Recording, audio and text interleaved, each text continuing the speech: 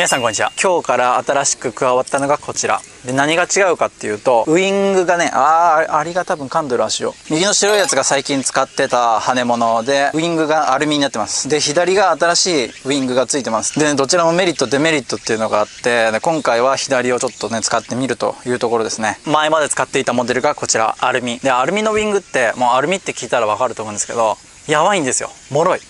曲がる、まあ、軽かったり、まあ、材料費がすごい安く済んだり、まあ、加工がしやすいからね。っていうのがあってあのアルミを取り入れてる羽物ルアーっていうのはすごい多いんですよ、まあ、壁にぶつけたらどんなルアーでも割とダメなんですけど、まあ、特に羽物もねあかなり注意してえー、釣りをする上で使わないといけないルアーだと思います。こんだけ薄いもんだから、まあ、どんな金属であれ雑に使ったら曲がります。で曲がったらもう本来のいい動きが出なくなる。弱いところをちょっとなくしたいなと思ってって新しい材質にしたのがこちら。ちょっとアルミより重くなるんですけどステンレス並みの強度があってえー、腐食にも強いと。っていう金属を採用してちょっと作ってみました。だけどコストがすごいかさみます。でボディが黒いのは僕が気分で釣りが寄ったらあのなんかペイントするツールが置いてあったんで買って適当に塗りました。なんかいつも白使ってるからちょっと黒にしてみようかなと思って。昨晩ねぬりぬりしてきました。かっこいいでしょ結構。なんか小バスがボイルしてるよ。この水抜かれて死んだ池も回復してきとるかもね。スピニングちょちょって投げりゃ小バスは釣れるかもしれない普通に。その広大なフィールドの中でテンポよくあの釣れる魚を探していく。スピーディーに釣っていくっていうのが基本になってくるじゃないですか。でそういうとこでさスピーディーにパンパンパンパン投げないといかんのにこんなノロノロしたルアーをまあ投げんでしょ、まあ、例を挙げればまあそういうところではない。こういう狭いの池でもう足場ここだけですよ。で投げるとしたらもうそこ出るとしたらそこだよみたいなところを一球入魂で一発で一撃でその中からでかいの引っ張って食わせるっていう。でかつ、まあ、今ここはもう死んでるフィールドここは結構終わってるフィールドだけど一級ポイント流れ込みだったり一級の筋とかそういうところは人がもう流し慣れてるわけで魚もそれなりに警戒しとるわけじゃないですか。でそういうところのバスもたまらず食わせるような超デッドスロー。もう羽物の魔力を最大限にこう積み込んだやつが僕は欲しかった。でその辺を追求したルアーがこれ。大きいフィル琵琶湖とかだったらまたちょっとあそこはねあのパラレルフィールドなんであの全然いいと思うんですけど広大な川とかさそういうとこで使うようではないかなと。あんまりこう早巻き対応じゃないんですよこいつ。すっごいデッドスローでもうとりあえず使ってほしいルアーだから。これ投げてもうめちゃめちゃとりあえずゆっくり。ラインのたるみだけで動くぐらい。もうこれ巻いてないでしょ？これ。巻いてないけどこうやってギラギラギラギラ動いてるんですよ。羽を水面から出さずに。こんぐらいで賞味僕は使ってほしい、うん、カッチャカッチャ。でもこんこんぐらいで起きますよこうやって。もちろん。で時にはあのー、ね対してこう魅力的でない筋とかを通す時はちょっと早めに巻いてねあの早くサーチしたいっていう時もあるからそんぐらいは負けないといけないんだけどできればもう朝一で完璧なところによっしゃ朝一だここだっつって完璧なとこにキャストしたんだったらもうローギアのレールをもうこんなこんなスピード。ローギアよこれねでもルアーはこうやってのこうやってずっと動いてる。ずっとこうやってモテモテ動いてる。言うてこんだけ大きいルアーですよ。でしかも水面ね。なかなかねルアーの中でもまあぶっちゃけ強い部類。ちょっと懸念しがちな大きいルアー使い慣れてない人からしてみたらいやそんなんで釣れるんかよって思うようなルアーだと思うんですけどびっくりするぐらいあのでかいのを呼んでくるんでこいつにしか持ってない魔力っていうのがあります。でそれは何かっていうとあのこのいじらしい動き。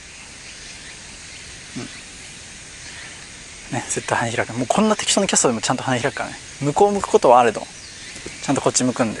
もう全然巻かなくてもずっと水面でこうやってやってるんですよ。ずっとこうやってやってる。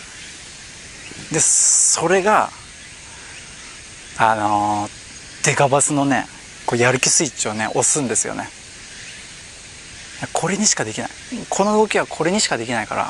でさらに他の羽物よりもさらに弱いです波動が。っていうのはもう羽が沈んでるから結局あの水面に出とったらさ羽があの水を押すじゃないですか。かき分けるじゃないですか。あなんか雲みたいなのがそこにおるわ。レンズに雲が。水面からこう羽が出とったら羽がこう水面を押してさあの波動を生むじゃないですか。でそれが基本的にこいつ水面から羽が沈んでるんでゆっくり巻くと羽が出ないんですよ。ちょっと早く巻くと水かき分けますけどこうやって水面の。ゆっくり巻くと水面からあの羽が出ないんですよね。なんでむっちゃ弱い波動。羽の中でもかなり弱い波動。かなり静かで弱い波動を出すことができる。これがまたねええんじゃ。こういう野池とかってもう投げるとこ少ないでしょ。で魚もそれなりにもうタフってる。っていうようなところであのあんまり強くねアピールする必要はない。じゃないですか。もうここしかさ投げるとこない。極端なこと言えばもうここしか投げるところないのにもかかわらずここに超アピールのやつバンバンバンバンってやったって一発でもうそれで魚にプレッシャーかかっちゃうともおしまいじゃないですか。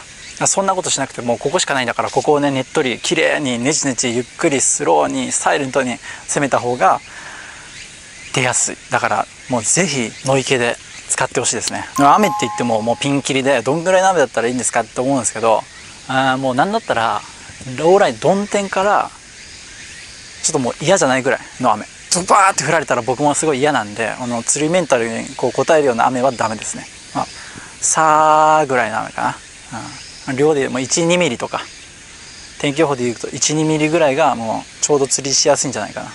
曇天から12ミリぐらい。雨が降るとなんで羽物いいのってなるんですけどやっぱり魚って警戒するじゃないですか。当然まどんな魚でもそうだと思うんですけどそれなりに警戒心っていうものがあるじゃないですか、まあ、周りに鳥がおったりとかさして。まあ、無防備にここら辺に浮いたら鳥に攻撃されるかもしれないじゃないですか。何かしらにね。でそういうのもあってやっぱり水面のさものを食いに来るってそれなりに奴らからしてみても賭けではあるんですよね。だそんな時雨が降ってるとやっぱりみんな目閉じてこう水中に沈んでる魚の気持ちになってそしたらさ上向いたらさ雨でさしぶきがちょっとバーってなってるわけですよ。視界がすごい遮られるじゃないですか。でそこにこうルアーがポトッとこう落ちとる。でふわふわ動いてる。っていうイメージ、まあ、警戒心が薄れて食いやすいししかもルアーを見切りにくい、ね、ルアーの周りもこうジャーってなってるじゃないですかだからルアーをルアーって判別させにくいっていう部分がある。だから、えー、トップでかいの釣れるんですよね。雨の時って。他のもんだったら別にね沈めるんだったらあの全然別に雨降ってなくてもね話になるんですけどやっぱり雨が降ってることによってこういうでかいトップとかは水面で出しやすい。うん、って感じかな。どの辺す？るこの辺？この辺ね？この辺ならいいね。ね絶対開くでしょ。でパタパタ動く。まあ編集で開いてるとこだけ使ってるんじゃねえのって思われるかもしれんけどこんな適当なキャストほら。完全に開くでしょ。ひっくり返りもしない。パン。ね。開く。閉じようがないし反転のしようがないんですよ。この形状的にね。これですっごいパタパタ動いてるの分かる？これ。水中の中で。水の中で羽がパタパタ動いてるの。全然ラインを巻かずに水中の中でこうずっとこうやってるんだよね。これがたまらん。下にでかいのがあったらもうちょん出ちゃうと。この形状この動きが出るまでに2年かかりました。長かっ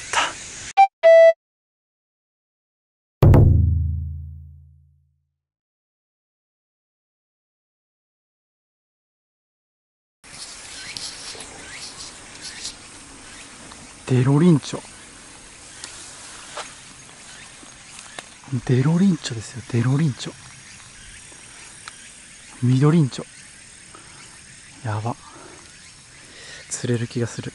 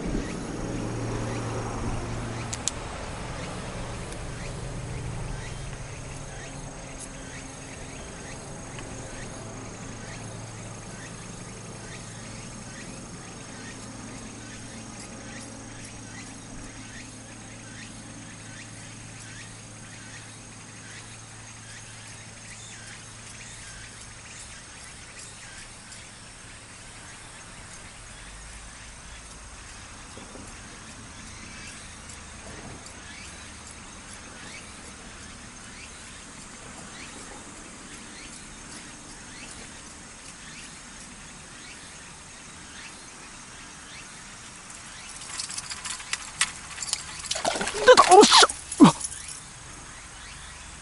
うえ。うえ。ちょちょちょっと待って。寺でっけえの出たぞ。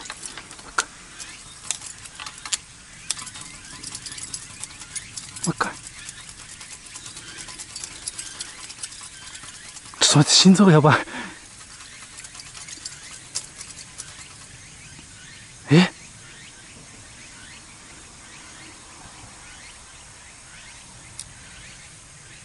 乗らんかった。水がぐじょぐじょすぎて乗らんかったわ。多分これ、ね、狙いが定まらんかったんだな。うわ最悪出た。マジやべちょっと釣れんかったけどみんなこれ許して。すごい映像撮れたでしょ。やば。心臓やばいんだけど。びっくりした。さすがにびっくりしたよ俺も。最初最初カッシャンカッシャンカッシャンカッシャンってこうやって雇ってさ。んでうわうわついた。うわついた。うわやべえ。んでうわうわついた。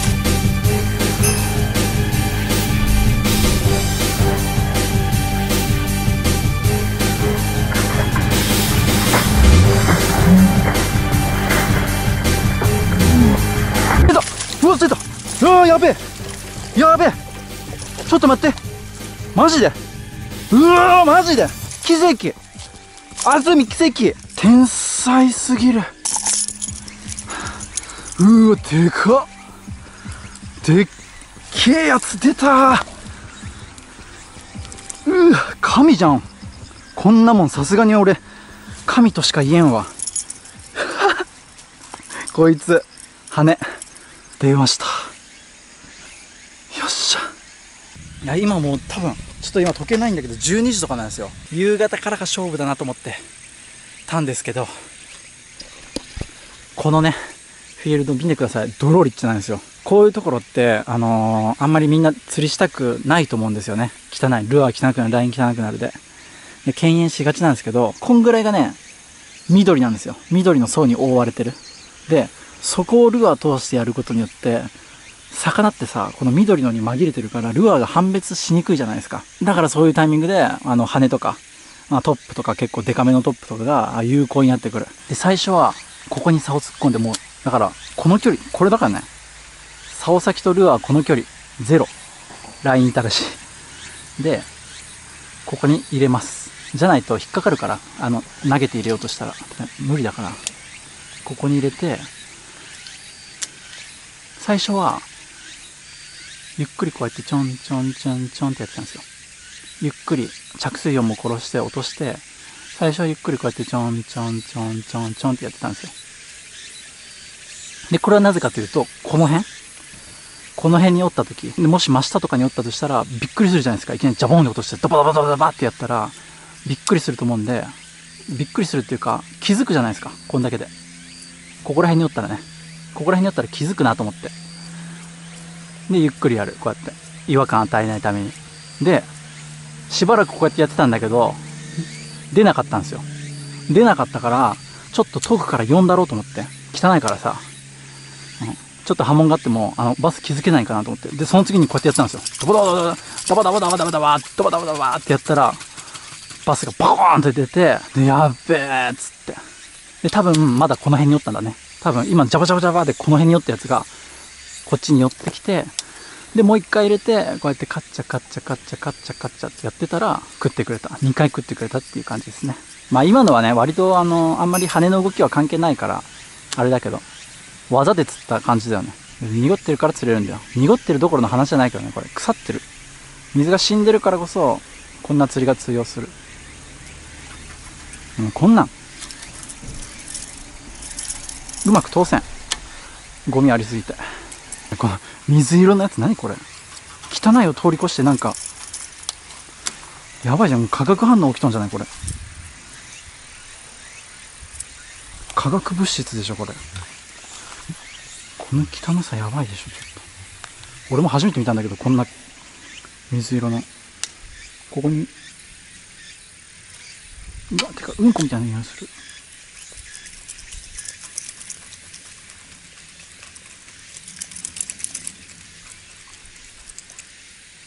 すがにこんだけ汚いとバスも入らんかな。ちょっとやって戻ってきました。現在時刻これ。ほら。13時半。あ釣ったのが多分12時4 5 0分ぐらいかな。普通だったらでかいトップなんかもう除外するような時間なんですけど。